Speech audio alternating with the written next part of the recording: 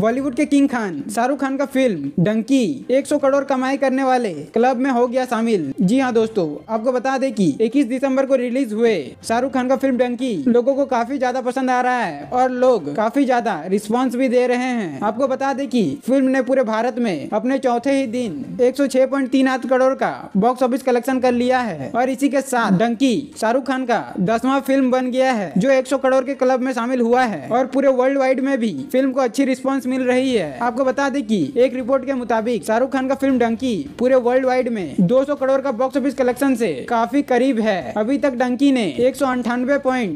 करोड़ का box office collection कर लिया है और फिल्म का रिव्यू भी काफी अच्छा आ रहा है बाकी आपको शाहरुख खान का फिल्म डंकी कैसा लगा कमेंट करके जरूर बता देना मिलते हैं जल्द एक नया बॉलीवुड अपडेट के साथ तब तक के लिए बाय बाय दोस्तों